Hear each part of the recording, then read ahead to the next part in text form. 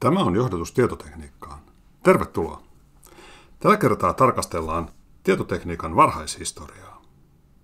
Tietotekniikan historia on pitkälti laskentalaitteistojen historiaa. Ihan ensimmäinen laskuapu on kuitenkin varmasti ollut sormet, joiden avulla on helppo pitää kirjaa numeroista. Sormia voi ajatella ikään kuin muistin jatkeena, johon voi tallettaa lyhytaikaisesti jotain tietoa. Varmasti jokainen muistaa, miten vaikkapa ensimmäisellä luokilla matematiikkaa opetellessa sormia tuli käytettyä apuna yhteen- ja vähennyslaskuja tehdessä. Ja tulepa niitä käytettyä näin vanhempanakin aina kun jotain asiaa pitää pitää mielessä tai kun on tarve pitää pientä kirjanpitoa. Sormet ovat aina heti tarjolla, ja sormia voi siis pitää ensimmäisenä laskennan apuna. Sormista ei ole pitkä hippäys siihen, että lukuja voitaisiin merkitä vaikkapa vetämällä viivoja maahan, veistämällä lovia puunpalaan tai siirtämällä pikkukiviä pinosta toiseen.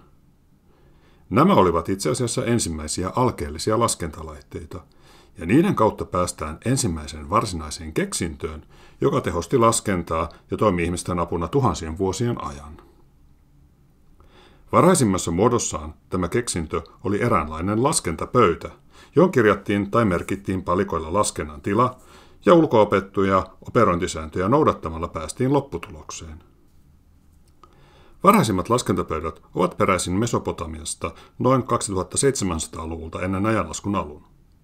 Persiassa niitä on käytetty jo 600-luvulla ennen ajanlaskun alkua ja Kreikassa 400-luvulla ennen ajanlaskun alkua. Juuri kreikan kielestä juontuu laitteen nimi abax, joka tarkoittaa hiekkataulua, johon voidaan piirtää geometrisia kuvia tai laskuja. Muihin kieliin se on tullut latinan sanan abakus kautta, mutta Suomessa laitteen nimi on helmitaulu, mikä pohjautuu sen Kiinassa sataluulainen ajanlaskun alun kehitettyyn versioon, jossa puisia helmiä liutetaan tankoja pitkin tiettyjen sääntöjen mukaisesti. Helmitaulu on merkittävä keksintö siksi, että se mahdollistaa päässä suoritettavan laskennan ulkoistamisen fyysiselle laitteelle. Kun aikaisemmin laskenta tapahtui ihmisen pään sisällä, nyt laskijan ei tarvitse itse omassa päässään käydä läpi monimutkaisia laskutoimituksia. Sen sijaan riittää, että hän opettelee muutaman yksinkertaisen säännön, joiden mukaan helmiä liikutellaan taulussa ja joiden lopputuloksena saadaan haluttu tulos. Kun laskija nyt suorittaa vaikkapa yhteenlaskua, niin riittää, että hän syöttää seuraavan summattavan luvun siirtämällä helmiä sääntöjen mukaan.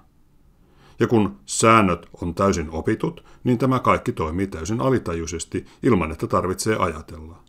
Kädet vain siirtelevät helmiä, kunnes lopuksi tulos voidaan lukea helmitaulusta. Helmitaulu oli käytössä tuhansien vuosien ajan, joten kyse oli tosiaan merkittävästä keksinnöstä.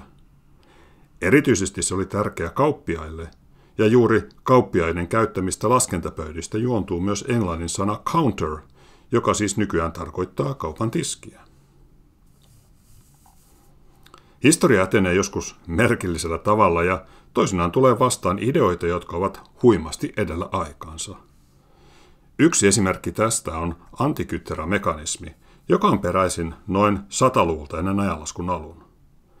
Tämä mekanismi löytyi 1900-luvun alussa Egeanmereltä Antikythera-nimisen saaren edustalle uponeen aluksen arkeologisten tutkimusten yhteydessä. Aluksen lastin joukossa oli alun perin puisen laatikon sisällä ollut pahasti hapettunut pronssista tehty laite, josta voitiin päällepäin erottaa hammasrattaita ja jonkinlainen koneisto. Tuolloin ei osattu keksiä, mihin laitetta olisi voitu käyttää – Mekanismin merkitys ja kompleksisuus ymmärrettiin vasta 1970-luvulla, kun sitä alettiin tutkia muun muassa röntgensäteillä. Tällöin mekanismin monimutkaisuus kävi ilmi ja huomattiin, että sillä voitiin laskea erilaisia astronomisia tietoja. Laite saa syötteenään päivämäärän ja antaa tuloksena muun muassa auringon ja kuun aseman, kuun vaiheet ja pimennykset ja mahdollisesti jopa planeettojen sijainnin sekä olympiaadin. Sitä voidaan pitää ensimmäisenä analogisena tietokoneena. Laitteiston valmistaja on edelleen mysteeri, eikä vastaavia koneistoja ole toistaiseksi löydetty muualta. Vahvimman nykyisen teorian mukaan otaksutaan, että tämä koneisto on kehitetty Kreetalla tai Roodoksella. Siitä löytyy muutamia epäsuoria aikalaiskuvauksia, jotka tukisivat tätä olettamusta. Mekanismi oli todellakin edellä aikansa, sillä hammasrattaita ja muuta hienomekaniikkaa alettiin käyttää laskennan apuna varsinaisesti vasta 1600-luvulla. Onkin mielenkiintoista kuvitella, millaista antiikin maailma olisi ollut, jos mekanismi ja sen tietotaito olisi levinnyt laajemmalle. Nyt tieto jäi pienelle maantieteelliselle alueelle ja hävisi ajan mullistusten mukana. Hypätäänpä ajassa reilusti eteenpäin. Islamilainen kulttuuri ja tiede elivät kulta-aikansa 800-luvulta alkaen aina 1100-luvulle. Oppineet olivat keränneet talteen kaiken antiikin tieteellisen tiedon ja työstivät sitä eteenpäin samaan aikaan kun Eurooppa oli vajannut Länsi-Rooman tuhon jälkeen pimeään keskiaikaan.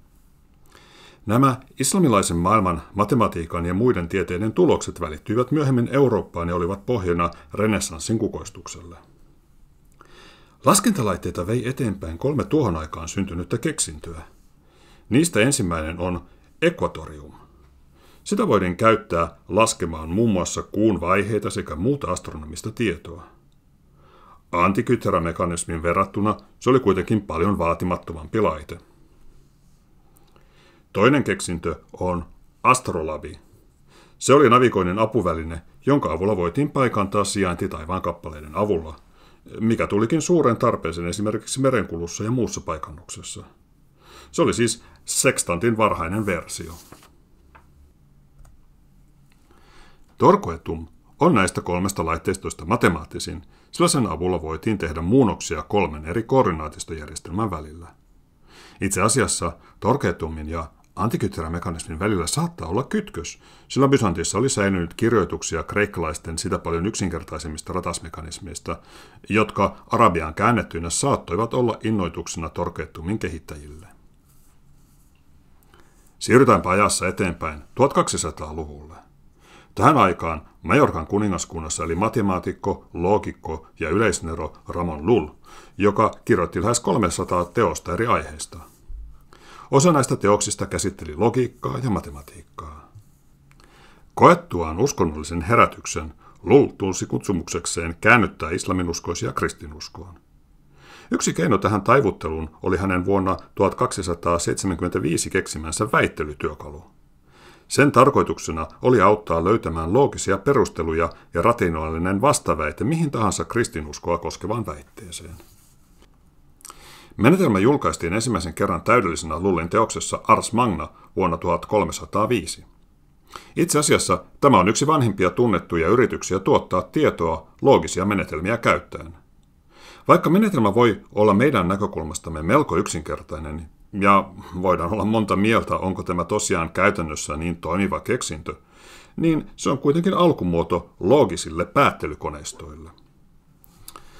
Lullin laitteella oli vaikutus myöhempiin ajattelijoihin, erityisesti 1600-luvulla eläneeseen Gottfried Wilhelm Leibnizin, joka antoi menetelmälle nimen Ars Combinatoria. Leibniz oli oman aikansa yleisnero, jonka kirjoitukset käsittelivät kaikkea mahdollista luonnontieteistä filosofiaan. Matematiikassa hän kehitti differentiaalilaskennan itsenäisesti samaan aikaan Newtonin kanssa. Leibniz kehitti logiikkaa paljon eteenpäin, ja monet hänen ajatuksistaan ovat toimineet pohjana tietojen käsittelyn perusteerioille, kuten hänen esittämänsä kalkulus ratikionator, jonka hän laati universaaliksi loogiseksi laskentamalliksi. Leibniz oli myös kiinnostunut insinööritieteistä ja kehitteli ja rakenteli hammasrattaiden avulla toimivia laitteistoja laskentaa varten.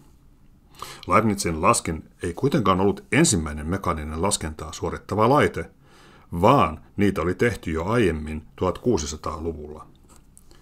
Nyt voimmekin siirtyä varhaisten laskentalaitteiden ajasta mekaanisten laskentalaitteiden aikaan.